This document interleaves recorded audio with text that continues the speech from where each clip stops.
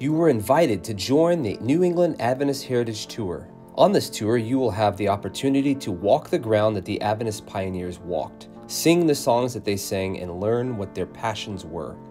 As part of this tour, stories will be shared in which lessons from Adventist history will be applied to life today. Give yourself the chance to deepen your understanding of Adventist history and have an enjoyable time while doing so.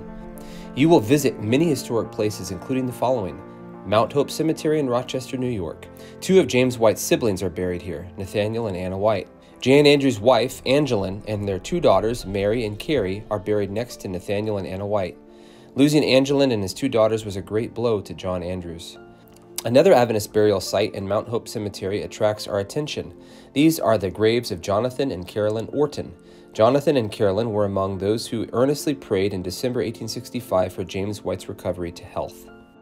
We will also visit the Joseph Bates home in Fairhaven, Massachusetts. For Seventh day Adventists, Fairhaven and New Bedford will ever be linked with Joseph Bates and his discovery of the Sabbath. It was here that Bates grew up and established his own family, and it was here that he traveled the world, rising to captain and part owner of his own ship. It was in New Bedford and Fairhaven that he heard William Miller preach and became an ardent advocate of the soon coming of Jesus Christ. It was here that he accepted the Sabbath and wrote tracts on topics that provided the theological foundation of the Seventh day Adventist Church. We'll visit Gorham, Maine, where Ellen White was born. Gorham, Maine is the birthplace of Ellen G. White. During her childhood, her father, Robert Harmon, alternated between farming in Gorham and Poland and operating a hat shop in Portland. The family moved from Gorham to Portland about the time of her birth in 1827. In 1829, they relocated to Poland, Maine, and about 1833, they returned to Portland. For the remainder of Ellen's childhood, the Harmon family lived in Portland. Soon after James and Ellen White's marriage on August 30, 1846, Robert and Eunice Harmon purchased a farm on Fort Hill Road in Gorham.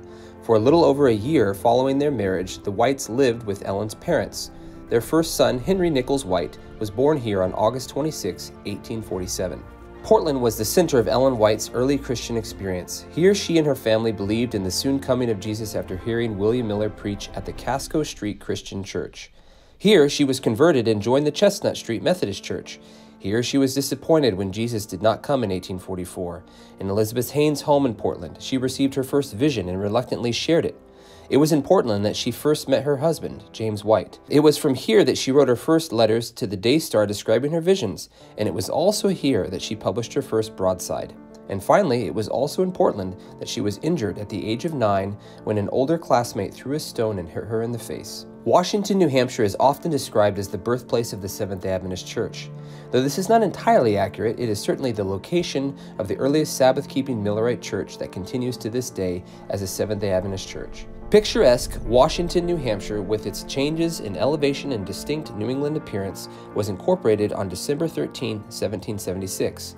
The residents have long been proud that their town was the first to be named after George Washington. The William Miller Farm and Chapel is the place of spiritual renewal and commitment for many Adventists and a place of historical interest for many others.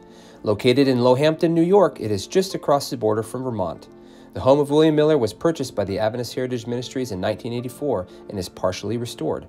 Various outbuildings, including a large barn, are on the property. William Miller built the chapel in 1848. It is owned by the Advent Christian Church but is jointly operated by the Seventh day Adventists. There was no regular congregation meeting there. Rather, the chapel serves as a historical and spiritual monument to the Advent faith. Between the home and the chapel is Ascension Rock overlooking the valley.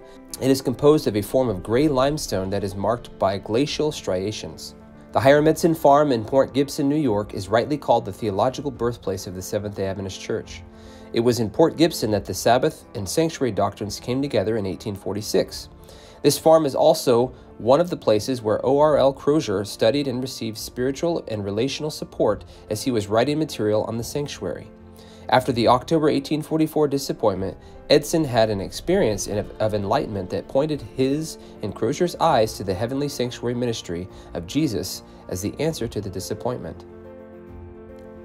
Hearing about Ellen White's love for Jesus and the people from her letters helped me cast away the bitter taste of radical Adventist conservatism that is usually associated with Ellen White. I was able to use all of my senses and my emotions to immerse myself in the world and life of the pioneers. Learning happens whether you intend it or not, just by being in these places.